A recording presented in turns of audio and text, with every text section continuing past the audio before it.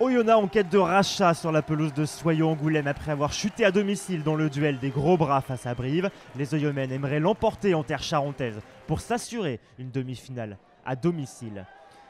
Mais d'entrée, les Oyomènes se prennent les pieds dans le tapis. Quelques mauvais choix, quelques mauvaises négociations. Les Oyomènes sont pénalisés derrière et offrent une première cartouche à Pierre Lafitte, le buteur angoumoisin, qui ouvre le score 3-0 pour les Charentais.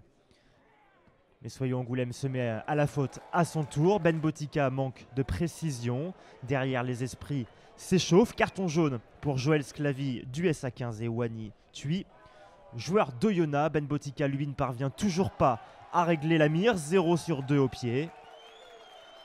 Mais à défaut d'être juste au pied. Oyonnax va faire la différence sur cet éclair de génie de Quentin Etienne qui voit la porte s'entr'ouvrir et file s'allonger dans l'embut pour le plus grand plaisir des remplaçants qui avaient pris place dans la zone cible. Oyonnax prend l'ascendant. Ben Botica, cette fois-ci, parvient à trouver les perches. Oyonnax mène 7-3, mais Soyons Angoulême va encore sortir son va-tout et miser sur Pierre Lafitte pour faire la différence. L'arrière angoumoisin passe le premier rideau. Derrière, les Oyomènes résistent, défendent dur mais sont sanctionnés. Pierre Lafitte ne tremble pas malgré des conditions compliquées avec le vent. 2 sur 2 pour le buteur angoumoisin et Angoulême qui revient à une longueur d'Oyona. Juste avant la pause, les mêlées sont compliquées à négocier. Les deux équipes sont une nouvelle fois sanctionnées d'un carton jaune. La fin de premier acte est hachée. Les deux équipes vont voir rouge. Vous l'avez vu au sol. Il y a eu des gestes, il y a eu des mouvements. Carton rouge pour les deux joueurs.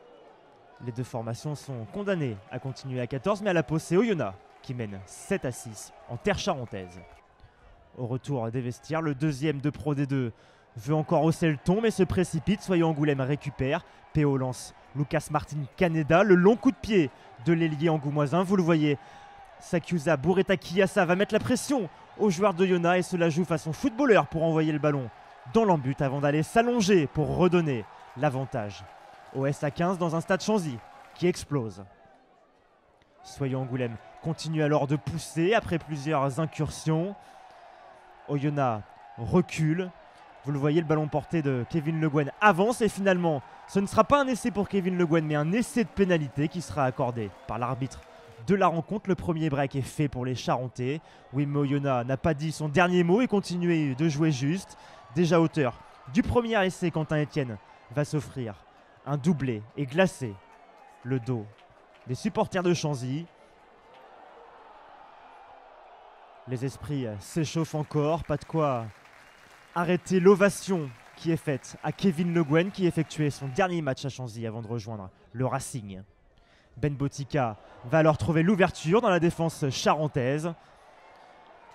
Nouvel essai pour euh, Oyonnax. Les Charentais qui pensaient avoir fait le plus dur perdent à nouveau le gain de l'avantage au tableau d'affichage. Oyonnax bascule en tête pour une longueur, mais Soyons Angoulême continue encore, ne dépose pas les armes. La percée de Boretta Kiassa est impeccable. La combinaison l'est tout autant avec Paul Belzons qui lance Benjamin Péo qui va s'offrir son premier essai cette saison sous le maillot charentais.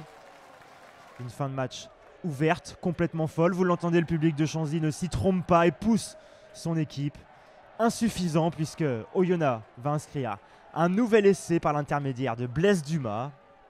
Soyons Angoulême dans le dur. Ben Botica, lui, feinte la passe avant de s'extirper de la tenaille et d'aller inscrire un nouvel essai, son doublé ce soir.